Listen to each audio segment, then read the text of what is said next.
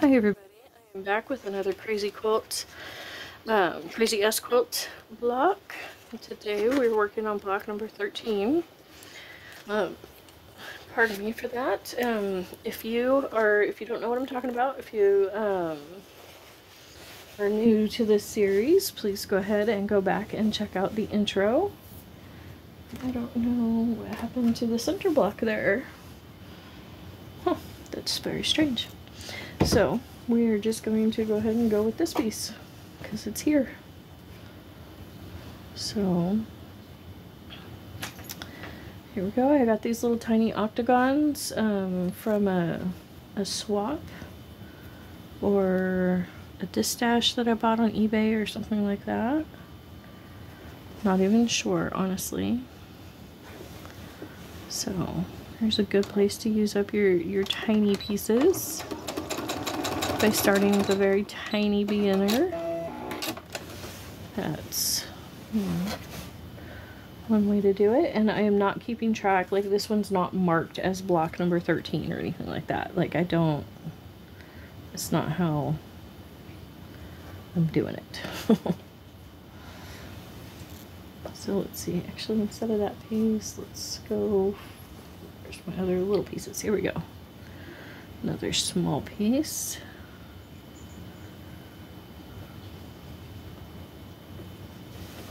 There we go.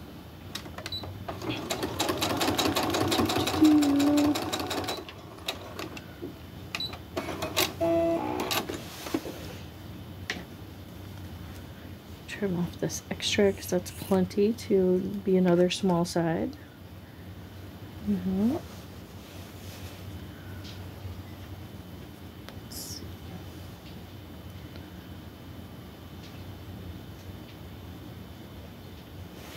I'm gonna go ahead and skip that side and come over here to this one because I have this little piece that'll fit over here, but it's not quite long enough for over there. So I'll go ahead and utilize it. And let's see.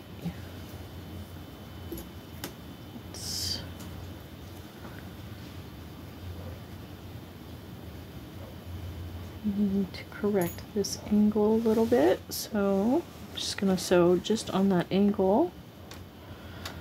This is one of my favorite fabrics. It's purple batik.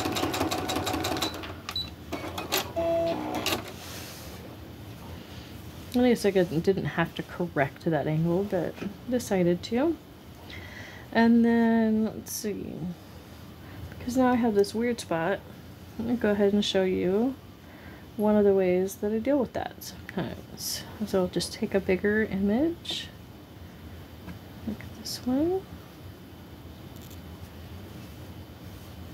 and I'll just sew around that raw edge style. And I like to leave um, a decent sized gap between the stitching and the edge of the fabric. And I know that there's a million different ways to do circles and curves, and there's somebody out there that's going to say I did that all wrong, but you know what? It's sewn down. This will ruffle out nicely. All of that is held down. I'm going to call it good. So, you know, don't worry about what other people say that, you know, it's supposed to supposed to be like. You know, do your own thing. Let's see, I'm just trying to find a piece that's not part of something else yet. Mm -hmm. No reason to use my, my crumbed pieces yet, because this is such a small edge. There we go. And see, look how little of that's actually going to show, but that's fine. That's totally fine. Let's see. Now, I don't want quite so much of this, so I'm going to just take my scissors and cut it. Make it more like a strip. Like so. And see now, I can take this piece. Okay, that has a little bit of a wonky edge on that side, so I'm going to use this edge because that edge is a little straighter. You know, and I could go and trim it and I could pin and I could iron and I could do lots of things to make this more precise, but that's just not, that's not how I do these. These are my relaxing sewing where I'm not worrying about any of those things to make it right and do it properly. None of that. That is all out the window and my only concern is, um, is it long enough? Does it go from edge to edge, you know, or am I willing to cut? Which in this case, I do not want to cut. I want it to just fit. So there's my edge that I'm trying to cover. This edge right here. So I need to make sure it goes all the way over to there. So it's quite a long piece actually. And so you can see how quickly you go from needing those teeny tiny pieces to needing those longer, you know, pieced pieces. And of course, I could use my larger scraps too. You know, that's that's totally an option. But I this this way I like because it helps um, build up the, you know, the difference and whatnot. Um, I could trim this back. A lot of people probably would. So that way when you're doing this edge, you're not sewing through that. But I am not going to worry about it in this situation. Um, just because I really don't care to have that fabric, you know, to save that little bit of fabric. And this is just that tiny bit short. So I'm going to go ahead and use it. And then what I'll do is I'll make sure that the piece that goes here overlaps that.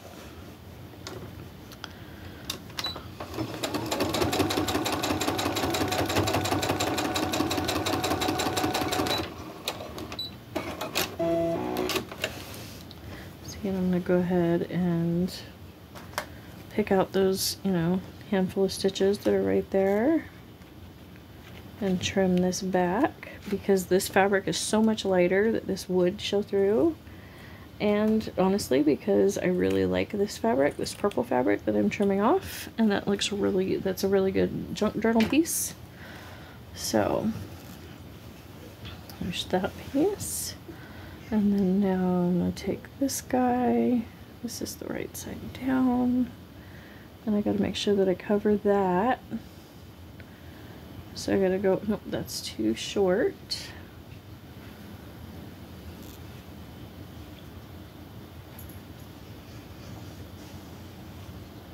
There we go. We'll do it like so. And so as you can see, like there's no right or wrong here. Like I'm not following sewing rules per se. This is just, you know, how I'm doing it. And it will be totally wrong as far as some people are concerned. And that's okay too. You know, that is. I'm totally okay with being wrong in some people's eyes. Let's see.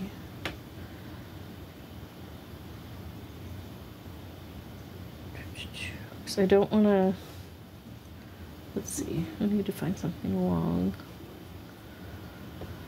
There we go. Here's a long piece. I need to cover that.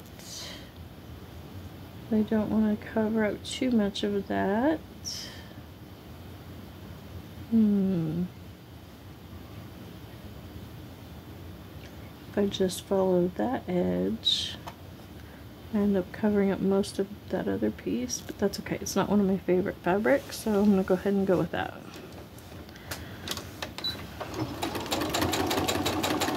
And see, you get to decide, you know, and, and it really is just something that you just, you learn to figure out as you do it. There's nobody, I mean, you can watch me do this and you can watch a million other videos, but until you actually get in there and start um, sewing the fabric together and seeing how the angles work and, and all of that, you're not really to understand.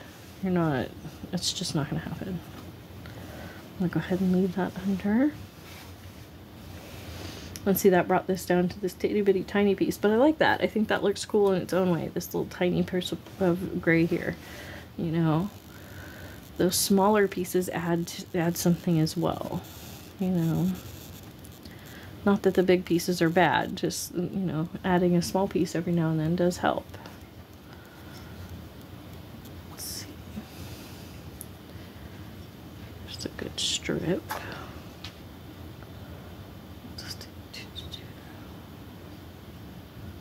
Is I'm to follow? Yep. I'm going to go ahead and do that. And see, I'm repeating quite a bit of fabrics here because I had quite a bit of the same type of fabric in my small pieces.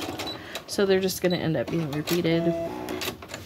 Um, sometimes I avoid that, you know, sometimes you can avoid that, sometimes you can't. Um, see. I'm to go ahead and snip off this extra. Give me some good um, junk journal fodder. Get rid of the stringy. Stringies are just a part of the process, you know. Let's see, now I have this straight edge, but kind of. Let's see.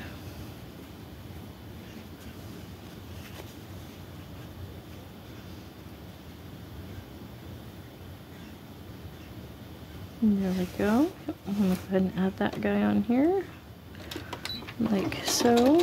My husband's gonna be getting home any minute, so I may have to pause the video as he comes in the door. I'm hoping to get this done real quick before he makes it home. you know? So, let's see. Those are my angly bits. Let's see. I'm to go ahead and add, just to kind of, you know, break up all of those little pieces, give your eye some place to rest. And go ahead and add this big piece.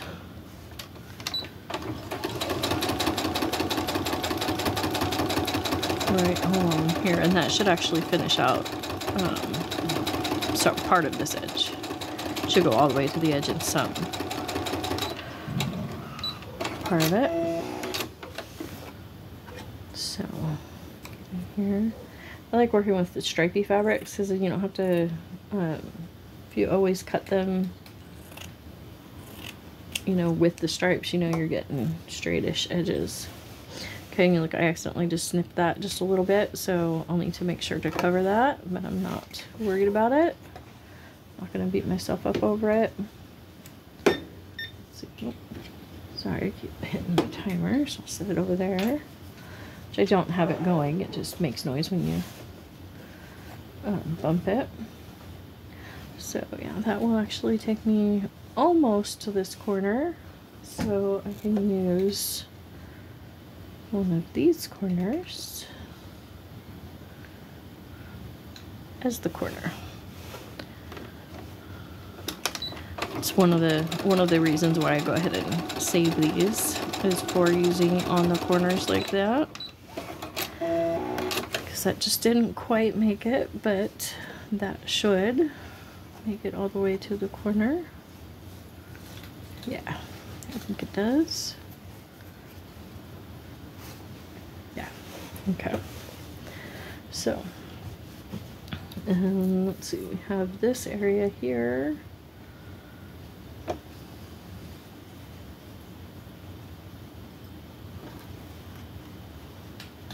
Over my edge so I have a rough estimate of where that edge is going to be so that actually doesn't need to go out that far. So I'm actually going to just um, do the raw edge applique thing, but I am still going to use the zigzag stitch, but I'm going to narrow it. I have it quite large. Let's just take it back to the standard.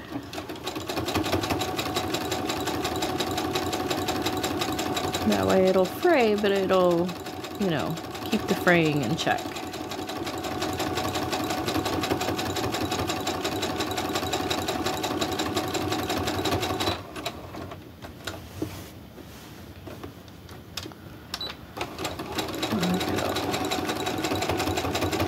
And that will cover up that piece that I accidentally cut and bring this all the way over to the edge.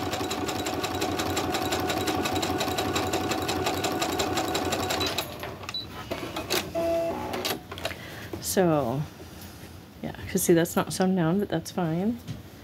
But yeah, see that slice is tucked in underneath there nicely. Yep, quite a bit actually. So, see, I don't know if you guys could see in there, but, but yeah, see there's where I trimmed and then that's where the seam is. So that's fine. That's nice. I like how that yellow pops off of there. I'm not usually a huge yellow fan, but you know, it looks cool in this situation. Let me see. Let's grab some of our bigger pieces. Finish this one out. Let's see, where's that other edge?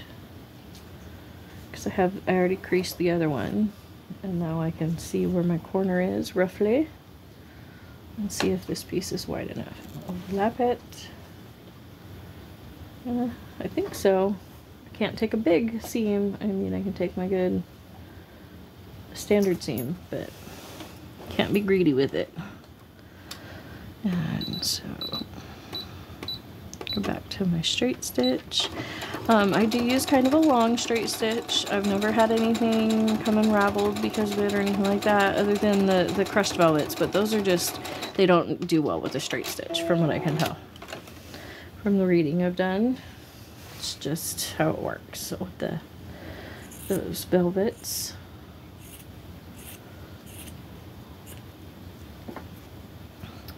So there we go. That corner's done. So spinning your mac around here to this side. Let's see if I use this big piece of black. Kind of, I don't know. I don't really want to use black, big piece of black on this one. Here's a long skinny strip. Well, not really super skinny, but a long strip going right along that teal. It's going to take that, that pink way far back, but that's okay. Because what's left I can go ahead and use, um, I'll trim off and use in my junk journals. You know, and I have a million different ways that I use fabric in my junk journals. So check out those videos as they come available. I have different, I'm not sure how many I have up right now. But um, always go check out the channel and see what else is going on. Because um, I do all kinds of different crafts. So um, if you find me, you know, because of the quilting, that doesn't, you know, you might be interested in some of the other crafts too. So there we go. And see how that looked like this really interesting little triangle there? I like that. Okay. And this these tails are just, you know, when they're super long like this, I like to go ahead and trim them. Just to get them out of my way for sewing the next piece. Okay, so where's my corner? There's my corner. So, let's see, I think I'm gonna go ahead and go with this wide piece. Oh, so sorry, so sorry. No seasickness. There we go. Okay. So, add this big piece on. Um, I do use a mix of fabrics, but at the same time, they are all 100% washable in cold water. Um, I wash everything in cold water. I don't wash anything in hot water. So, I don't worry about mixing fabrics as long as they have the same washing instructions, washing needs.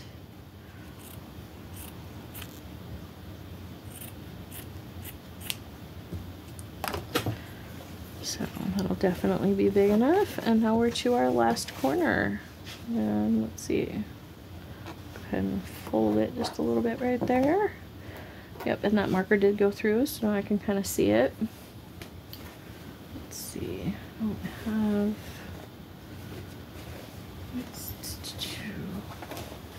Yeah, let's grab one of these. I have these um, circles that are left over from um, doing a um, a different project, and they're just, I just I have so many of them. So what I'm gonna do is put it on here like so.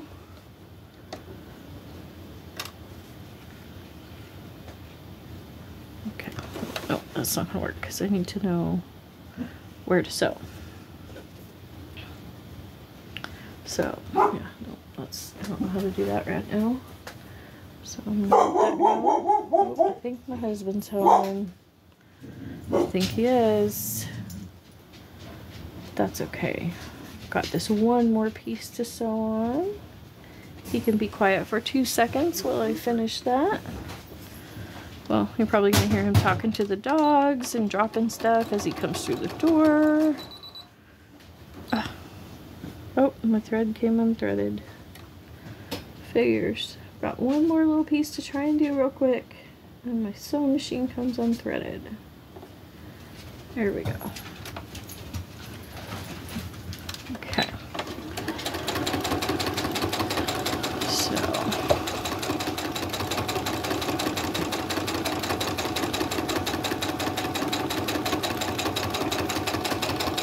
There we go. And then switch my basting stitch and flip it over. Okay, now this one I gotta be careful about because it's that little tiny triangle, so I wanna make sure that it's flipped the right direction. And then run my stitch all the way around, and then we'll be done with block 13.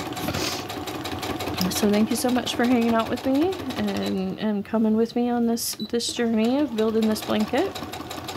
And don't forget to check out the, the links below if you're trying to find me elsewhere or um, and go check out the channel if you want to see what other things that I'm up to, what other crafts I'm into. Um, I will have see, I have some junk journals that are coming out right now, but I don't know when this is going to air, so I don't know if they will have already been out. it's one of those, because I'm, I'm going to start putting out my sewing videos on Sundays, regardless of when I record them. So, sewing Sundays. There we go on our last side.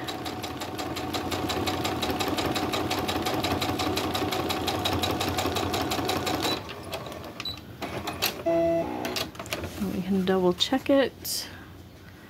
Yep, went all the way to the corner, covered that corner, covered that edge nicely. So thank you so much for joining me and don't forget to like and subscribe to all that awesome stuff. Thank you so much.